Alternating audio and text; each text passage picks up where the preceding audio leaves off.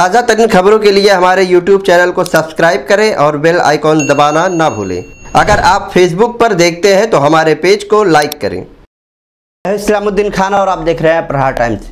विरार की रहने वाली एक लड़की के साथ छेड़छाड़ का मामला सामने आया है और इस पीड़ित लड़की की शिकायत पर विरार पुलिस ने दो लोगों पर मामला दर्ज किया है, जिसमें एक आरोपी इस लड़की का मौसा लगता है, जिसका नाम काका भूतो है।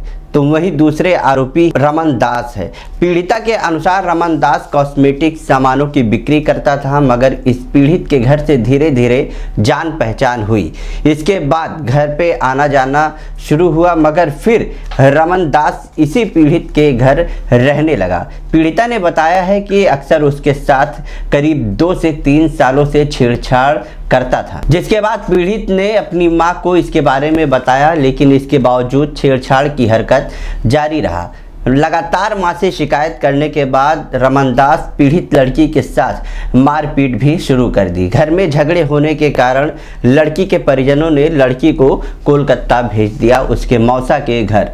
लेकिन लड़की के साथ वहाँ भी छेड़छाड़ की घटना सामने आई। इस पूरी घटना पर लड़की ने क्या जानकारी दी है, आपको सुनाते हैं। धीरे धीरे वो प्रोडक्ट्स वगैरह घर पे देने आने करता था और उसके बाद फिर आने जाने रहते में फैमिली जैसा बन गया।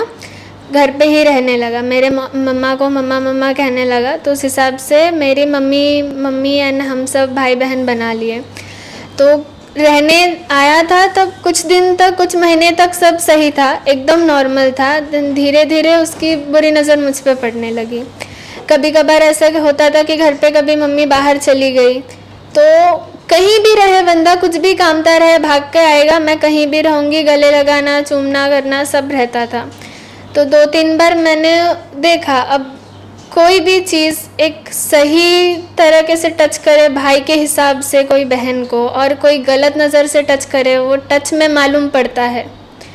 तो मुझे वो गलत लगा। मैंने मेरे मम्मी को बताया कि, मम्मी, ऐसा ऐसा होता है तो मुझे गलत लग रहा है। तो मम्मा मुझे कहती है कि, वो बड़े भाई के हैसियत से तुझे गले वगैरह लगाता रहेगा, तू गलत समझ रही है। तो मैंने कई बार वो चीज़ को मम्मी को बताना चाहा बट वो नहीं समझे। उन्हें वही लगा कि वो बड़े भाई के हैसियत से करता था लेकिन भाई जैसा कुछ भी नहीं था। वो बस अपने हवस के लिए ये करता। सेल्समैन वाला बंदा और दूसरा मेरे अपने मौसा जी। मैं गाँव में यहाँ से मेरे रिलेटिव्स के घर पे आना जाना रहता है तो उनका नाम क्या है दोनों लोगों नाम एक्चुअली निक नेम उनका सब उनको भूता भूता बुलाते हैं तो उस हिसाब से मुझे उनका असली नेम कभी पता नहीं चला। और जो आपके घर पे रहते थे वो? उनका नाम रमन दास है। वो एम की स्कीम्स लेकर आए। मेरी मम्मी को मम्मी मम्मी कह के फैमिली जैसा बन के हमारे घर पे उसने कदम रखा। अच्छा ये जो आपके साथ घटना हुई हुई है छेड़छाड़ की तो ये जो है कितने सालों से ऐसा चल रहा था? तीन साल से। और तीन साल से आपने अपनी माँ को कितनी बार लगभग अंदाजे के तौर पे कितनी दफ़ा जो है अपनी माँ को बताया होगा ये सब? पाँच छः बार बताया। बताने के बाद मम्मी ने कहा कि बड़े भाई के हैसियत से करता रहेगा तो टेंशन मत ले। देन कुछ दिन बाद मम्मी ने उसे मना कर दिया कि उसे गलत लगता है, वही कुछ और समझ से बैठेगी, इससे अच्छा है कि मत करो। तो जैसे वो चीज़ बंद हुई, उसके बाद से वो मेरी छोटी छोटी गलतियों पर पहले गाली देने लगता था। उसके बाद फिर गाली से लेकर मारपीट तक आ बैठी। मेरे मम्मी पापा के सामने छोटी छोटी बातों को लेकर छोटी छोटी गलतियों को लेकर मार, मारने भी लगता था।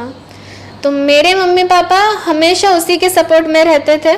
उसे एक लफ्ज़ तक नहीं कहा। बहुत ज़्यादा हो चुका था। मेरे मम्मी पापा तंग आ गए थे मुझसे कि हर बात पे लड़ना, झगड़ना चलता है। इससे अच्छा है कि तू गाँव चले जा, वहाँ पे ही रह जा।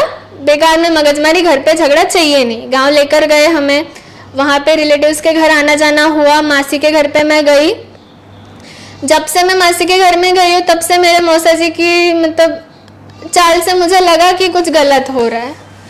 तो उस हिसाब से मैं ज़्यादा उनके पास नहीं रहती थी। पूरे दिन बंदा नशे में रहता था। वो दिन के टाइम पे था, रात को मैं रूम में अकेली सो रही थी और सबके सो जाने के बाद वो वहाँ से उठ के मेरे बाजू में आके सो गया।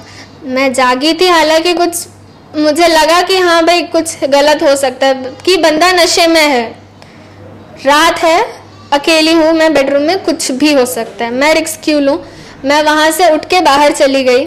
बाहर जाके मैं मेरे मासी के साथ सो गई। ये जो पूरी घटना हो रही है, आप जिस तरह से बयान बता रही हैं कि ऐसा ऐसा हुआ है तो क्या आपके ऊपर किसी तरह का प्रेशर किसी ने बनाया है ये बोलने के लिए? या आपके साथ जो हुआ है, वो हकीकत बयां कर रहे हैं, या कोई आपको डरा धमका कर ये सब बुलवा रहा है जो आप बता रही हैं?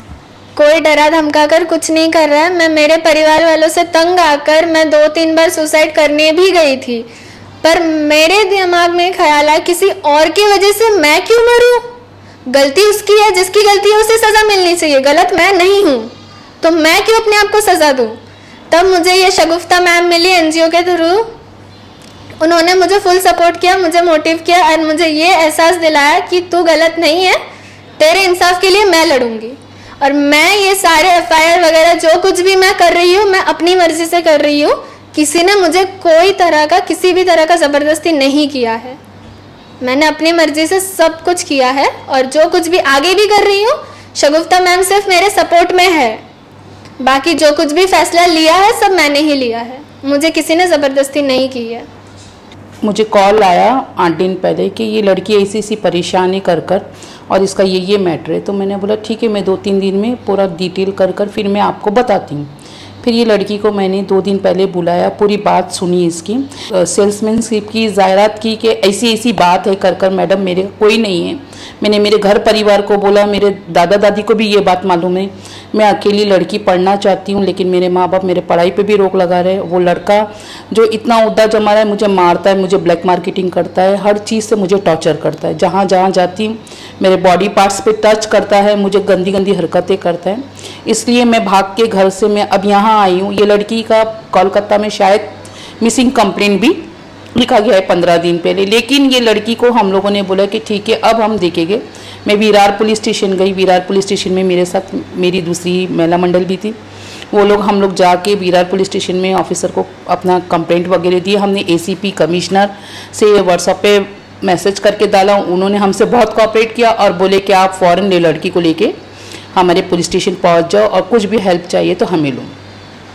विरार पुलिस स्टेशन में पुलिस वालों ने कॉर्पोरेट किया, लड़की का स्टेटमेंट लिया उसके घर परिवार को बुलाया। घर परिवार को बुलाया, इसके मॉम डैड और इसके भाई तीनों आए, वहाँ लोगों ने खूब झगड़ा किया और आते साथ इन्होंने इसके ऊपर ब्लेम लगाना शुरू किया और इसको बोलते हैं कि तू अभी हमारे लिए मर चुकी, तू हमारी नहीं हमने बोला तुम इसको बोल रहे हो, इससे पहले उस लड़के को निकाल दो, वो आदमी जो है उसको निकाल दो, अपनी बेटी को तो बोले नहीं। उसको हम नहीं निकालेंगे। ये भले जाना चाहे तो जा सकती है। आज से हमारी जवाबदारी, हमारी ज़िम्मेदारी खत्म हो गई। इसको पढ़ना, लिखना, नौकरी करना या जो कुछ भी बनना है वो कर सकती है। हमारा इसमें कुछ इन्वॉल्वमेंट नहीं है। हम हमारे हाथ से लिखत दे दे सकते हैं। मैं बोली, ठीक है, लिखत दे रही है। तो फिर मैं आगे की कार्रवाई मैं देखूँगी। लड़की ने बताया कि वो लगातार छेड़छाड़ की घटना से परेशान होकर बिना बताए मुंबई चली आई, जिसके बाद परिजनों ने मिसिंग रिपोर्ट भी दर्ज कराई है। ऐसा लड़की ने बताया है। वहीं विरार पुलिस ने इस मामले में आरोपियों के खिलाफ आईपीसी की धारा तीन सौ चौवन, तीन सौ तेईस, चौंतीस और बाल लैंगिक अत्याचार अधिनियम आठ के तहत मामला दर्ज कर आरोपियों की तलाश में जुट गई है। तमाम खबरों को जानने के लिए देखते रहिए प्रहार टाइम्स।